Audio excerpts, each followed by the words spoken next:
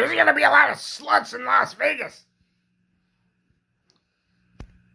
Are there sluts in Las Vegas? hey, Burton, this shit's pretty cool.